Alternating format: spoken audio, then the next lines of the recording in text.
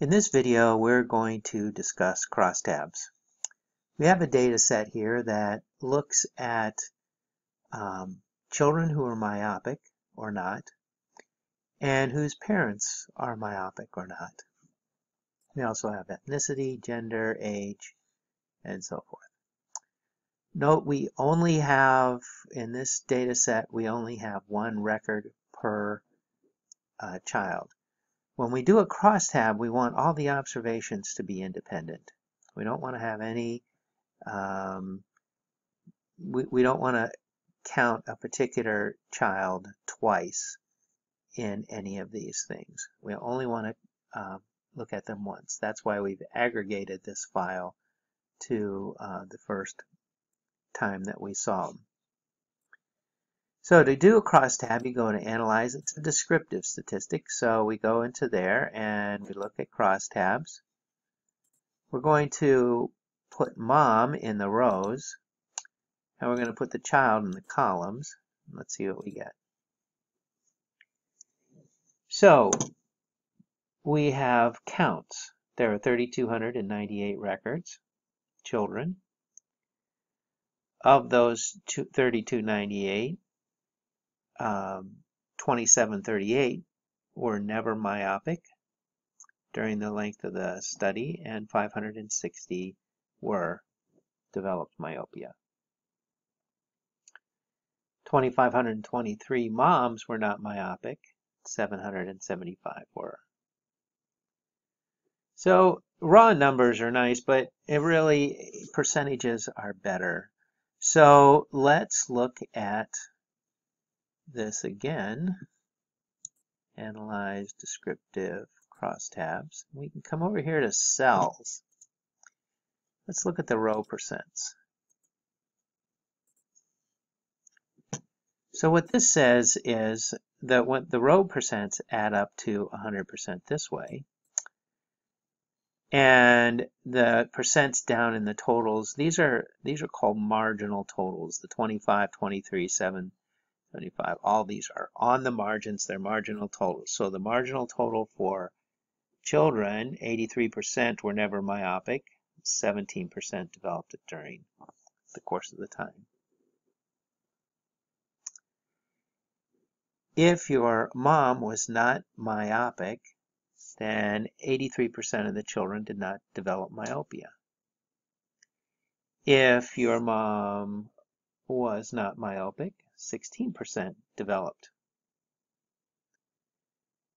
If your mom was myopic, then never is 80 and 19 is above.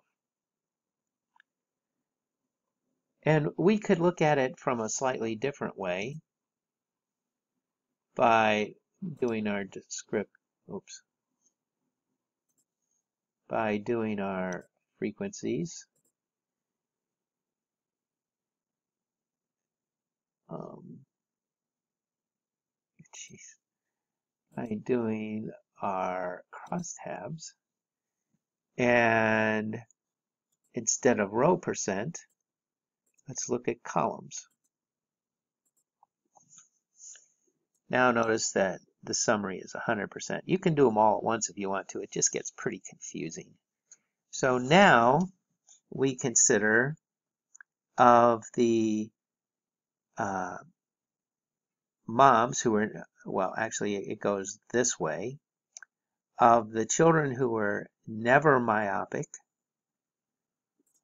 77% of their moms were not myopic, and 22% were. Of those who developed during the study, 72% of the moms were not myopic and 27% were.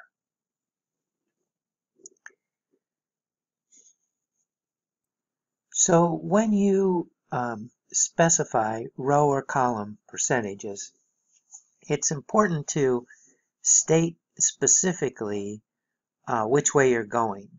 So for example, in this case, we did column percents.